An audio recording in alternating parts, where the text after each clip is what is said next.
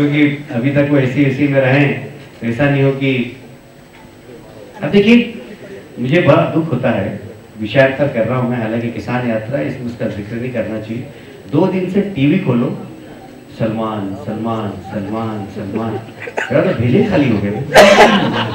मतलब ऐसा ऐसा कौन सा उसने धर्म का काम किया और उसको सजा मिल गई? भाई ऐसा है कि उन, उनके हाथ से एक हरिण मरा।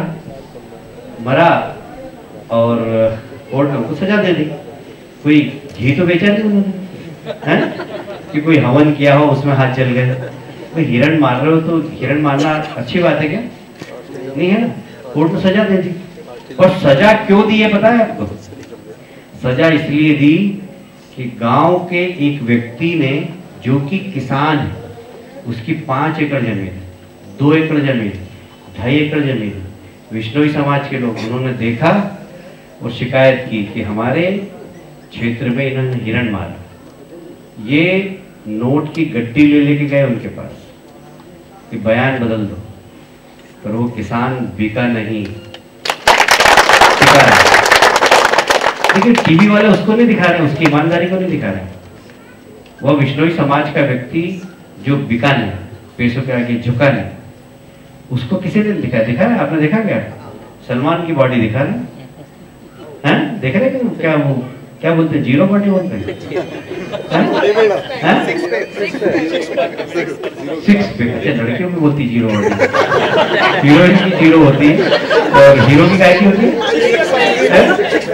सिक्स पे सिक्स पे बोलो। उनकी वही दिखा रहे कल से। और कोई दिखाई दे रहे अब वो बेचारा गरीब किसान जो बिका नहीं टिका रहा झुका नहीं अड़ा रहा। उसका कोई सम्मान ही नहीं। मैं सब किसान भाइयों से कहूँगा कि उस किसान का तालियाँ बजाकर स्वागत करें। को प्रदर्शित किया ईमानदारी से अड़ा रहा, झुका नहीं, और उन्होंने इतनी बड़ी शख्सियत को सजा दिलवाई सलमान को सजा हुई तो मुझे भी थोड़ा सा दुख हुआ कि अच्छा अच्छा दिखता है, बेचारा जेल में कैसे रहेगा? थोड़ी दया तो आई मुझे भी।